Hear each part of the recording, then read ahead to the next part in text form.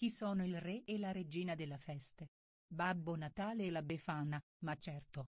Lui sulla sua slitta trainata da renne, lei con il sacco a cavallo della sua scopa distribuiscono regali a grandi e piccini. Un rapporto idilliaco? Una collaborazione fortunata? Non proprio. Anzi, l'avreste mai detto che tra i due non corre buon sangue? Pensateci bene, li avete mai visti insieme? Con questi interrogativi Catena Fiorello introduce un amore tra le stelle. La vera storia di come Babbo Natale di innamorò della Befana, una fiaba ecologica e moderna per adulti e bambini pubblicata da Baldini e Castoldi. Quando la sera dell'antivigilia, nel pieno dello stress prenatalizio di una grande città il nostro babbo un po' misantropo e pieno di acciacchi si scontra con la signora della notte, avvolta nel suo classico scialle, succede il patatrac.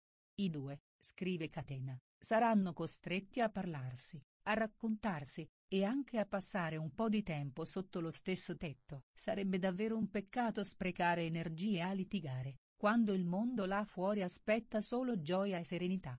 Non sarebbe più opportuno seppellire l'ascia di guerra e collaborare? Da soli si sta bene ma in due è tutta un'altra storia. La Befana di Catena Fiorello ribalta gli stereotipi legati alle donne, è, a suo modo, una protofemminista che rivendica libertà dalle apparenze, dalle mode si autodetermina. Ignorava le mode imposte dai giornali e indossava capi stravaganti che nessuno metteva più, un altro indizio della sua indole ribelle e sincera. Un vestito è soltanto un vestito, ma quanti la pensavano come lei? Scrive l'autrice.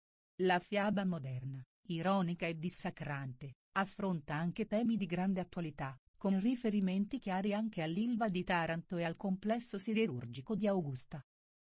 Babbo Natale e la Befana sorvolano il mondo a bordo della scopa, guarda quanto è bella la natura e la trattiamo male, mentre lei è così generosa con noi. Poi si imbattono in un paesaggio apocalittico, altissimi silos di metallo, qualcuno colorato in cima con strisce rosse e bianche e poi tubi che si incastrano e attorcigliano l'uno all'altro. In Sicilia, come in Puglia, ma anche in Veneto, Campania e Sardegna tante persone muoiono per l'inquinamento. I bambini sono costretti a respirare aria malsana e poi si ammalano. Stessi drammi, stesso egoismo, osserva Catena. Un mostro che sputa inquinamento. Un complesso industriale che produce morte silenziosa, ma gli uomini che lo hanno costruito se ne fregano dei danni che producono e continuano a sfruttare gli operai senza pensare alle conseguenze, dice la Befana. Ho capito di cosa parli, la fa eco nella fiaba Babbo Natale, una volta ci ho fatto un giro intorno. Sembra una città dentro alla città vera, che è bella come poche altre. Con un golfo incantevole e un lungomare da fare invidia. La meravigliosa Taranto, ci sono tante persone che si ammalano di questi fumi tossici, li vedi?